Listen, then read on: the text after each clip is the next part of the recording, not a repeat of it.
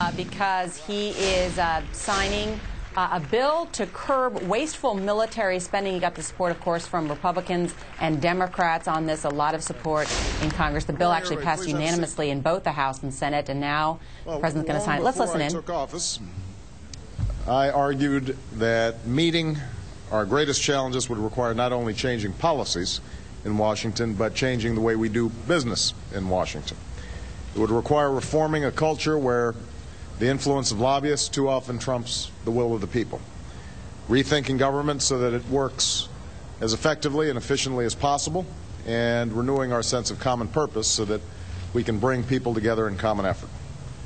That's exactly what we've done this week. On Tuesday, we brought auto executives, labor unions, environmental groups, Democrats and Republicans together to set a national fuel efficiency standard for our cars and trucks for the first time in history.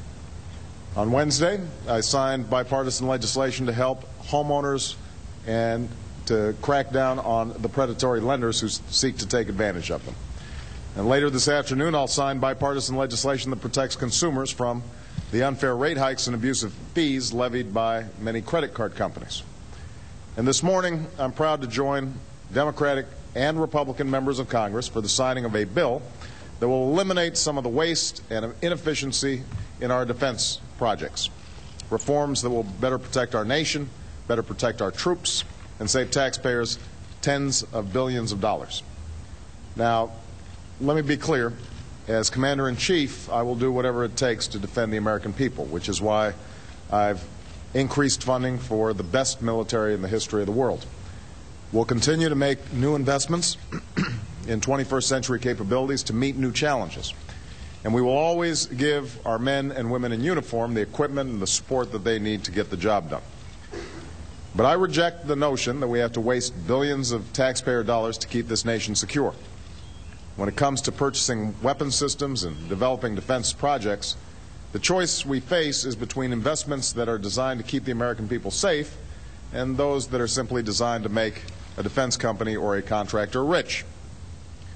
Last year, the Government Accountability Office, or the GAO, looked into 95 major defense projects and found cost overruns that total $295 billion. And wasteful spending comes from exotic requirements, lack of oversight, and indefensible no bid contracts that don't make our troops or our country any safer.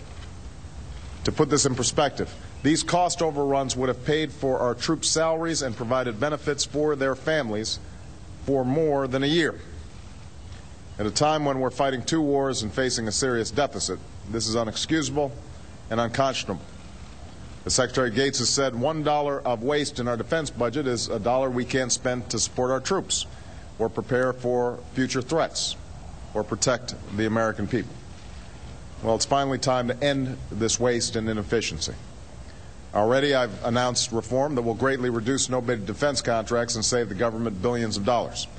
And Secretary Gates, working with our military leadership, has also proposed a courageous set of reforms in our defense budget that will target waste and strengthen our military for the future. In taking on this enormously difficult task, he's done a tremendous job, and I want to publicly commend uh, Secretary Gates for that. The bill I'm signing today, known as the Weapons System Acquisition Reforms Act, represents an important next step in this procurement reform process. It reforms a system where taxpayers are charged too much for weapon systems that too often arrive late. A system that suffers from spending on unproven technologies, outdated weapons, and a general lack of oversight. And the purpose of this law will be to limit cost overruns before they spiral out of control. It will strengthen oversight and accountability by appointing officials who will be charged with closely monitoring the weapon systems we're purchasing to ensure that costs are controlled. If the costs of certain defense projects continue to grow year after year, those projects will be closely reviewed, and if they don't provide the value we need, they will be terminated. This law will also enhance competition and end conflicts of interest in the weapons acquisitions process so that American taxpayers and the American military can get the best weapons at the lowest cost. And this legislation is long overdue, and it's been a long time coming. But we're finally signing into law because of the dedication and commitment of a few key members of Congress who who've been fighting for years for this reform.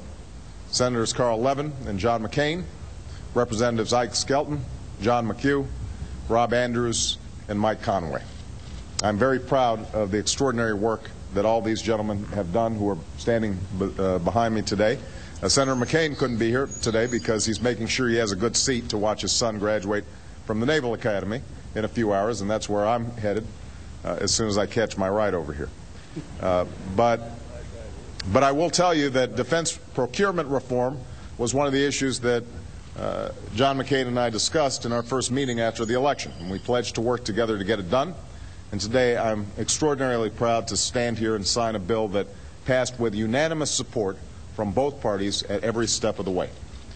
What all the gentlemen standing behind me, as well as Senator McCain, knows, uh, what Secretary Gates knows, what uh, all members of Congress uh, who have worked on this legislation understand is that we have no greater responsibility than to ensure that our men and women in uniform have everything they need to do their jobs.